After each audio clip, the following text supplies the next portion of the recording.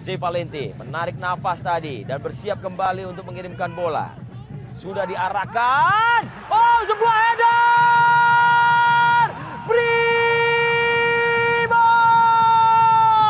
Berikan semangatmu!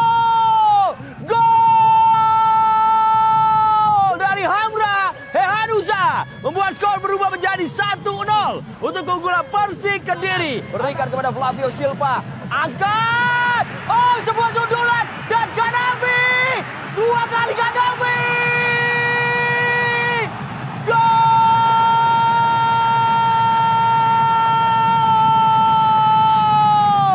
Lagi kita lihat Macan Putih menerkam diacak-acak dari kotak penalti dari Barito Putra dan pemain pengganti Muhammad Kanafi mengubah skor menjadi 2-0 untuk keunggulan Persik Kediri atas Barito Putra. Oh, baik sekali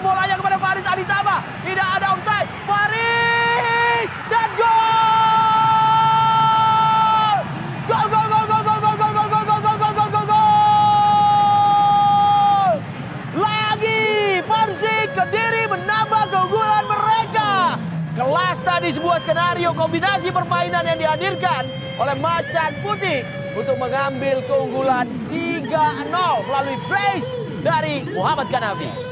Artinya sudah dimaksimalkan 5 pergantian. Oh, ini dia gol! Gol!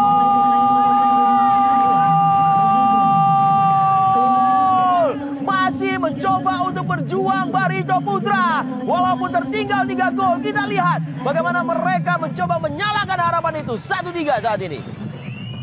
Sapuan langsung dari Yusuf Meilana pemirsa sekaligus menjadi penanda akhir laga di Stadion Brawijaya mana skuad Macan Putih berjaya di rumah sendiri di hadapan pendukungnya setelah kita saksikan 4 gol yang terjadi sepanjang laga Persik Kediri mampu memastikan kemenangan 3-1 atas Barito Putra.